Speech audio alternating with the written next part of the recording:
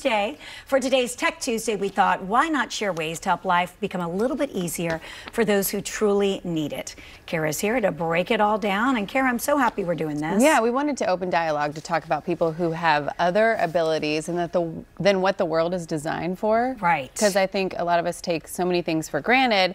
Um, people in wheelchairs can be limited to where they can go, which is not something everyone might want to think about or know, you know we, we, have to. yeah we have to and we want to help those so we're going to share with you some of these apps uh, the majority of them free too. Wow, so this is good. I love yes, that. Yes. All right. Okay. All right. So the first app we are sharing is called Be My Eyes, and this is actually uh, mentioned in a post-show meeting one day by producer Lydia because she has it and here's what it is.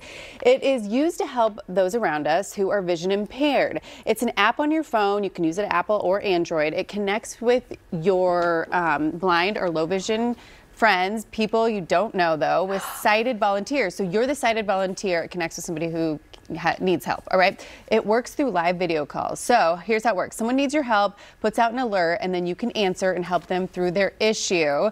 For example, people help you find dropped items, describing pictures, reading labels, shopping, or just navigating new places. It's completely free. Lydia was saying that she has gotten a call. She gets this alert on her phone. She clicks on it, and then um, like she helps somebody, you know, pick out their socks one day because they couldn't tell exactly what color they were. So it can be, you know, little things things like that, or maybe something, you know, like navigating a new place, like we uh, just told you. But yeah. what a what a useful tool. So it's you once you download mm -hmm. it, then you basically will get that signal that somebody in your vicinity needs your help. Right, Am right, yes. right? And Lydia said, you know, there are so many volunteers that oftentimes she'll go to help somebody, and then somebody else is already helping them. I love that. But um, yeah, what a community you can form and help people who need it.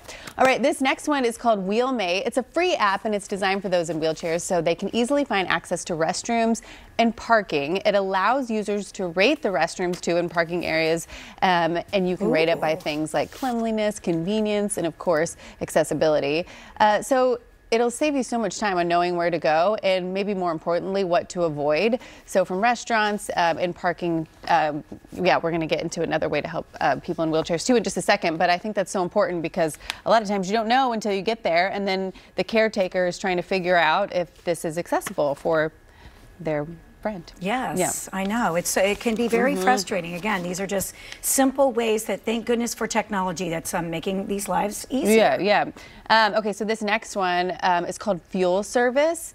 This app helps disabled drivers um, or perhaps those in wheelchairs get assistance while refueling their vehicles. Mm. Uh, so just think about how challenging it is for people who, you know, don't know if they're going to be able to access the pump. So here's what it does. It will show you which gas stations have attendants who can help. And if there isn't an attendant listed, the app will then contact the station for you to see if there's someone inside that can assist you. Great. Once you arrive, you'll let them know on the app they will be alerted and they come out to help you. It will let you know like it'll be three or four minutes. It could be longer, Perfect. but um, this is also a free app and you can also rate. So if you're going somewhere, then you can see which ones have done better than others. Wow. Oh, right. Yeah. That's always mm -hmm. good. Yes. Yeah. Good for the five stars or four and a half. right, right. Yeah. Um, okay, I like this next one too. This next one's pretty neat. I think this is the only one that might have a small fee to it, but it's called CoughDrop. Oh. Okay, and some people are hard to understand, hard to hear. It's through no fault of their own, but different ability different abilities like autism, cerebral palsy, Down syndrome just make it harder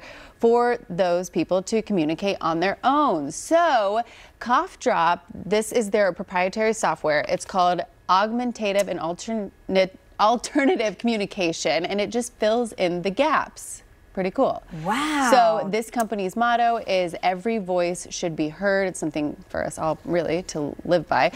Yeah. We'll make sure we have, excuse me, post this list on our Facebook page. So if you need help yourself or yeah. you want to send it to anybody else, uh, you're all set. So thank you, Cara Kneer. You're welcome. Those are so good. Hope you learned something.